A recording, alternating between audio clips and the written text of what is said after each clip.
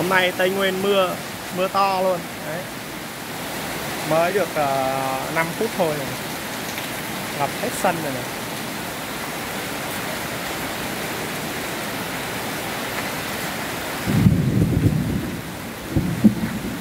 Đoàn đùng đoàn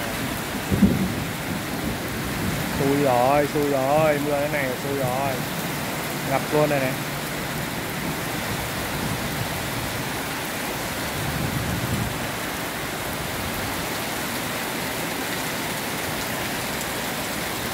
Mưa thế này ngập hết rồi.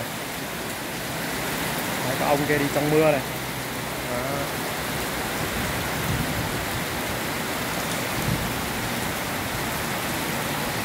Đó, nước dồn về đây này chảy ầm ầm ầm ầm ầm ầm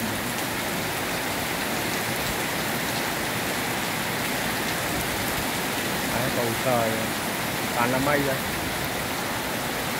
Khả này là nhiều chỗ là ngập nặng luôn nhé Chỗ này là như vậy là những chỗ khác là có nguy cơ ngập rồi nhá Đấy, không phải là ngập toàn bộ mà những cái chỗ gọi là úng không thoát được nước, là ngập nước vô nhà ấy.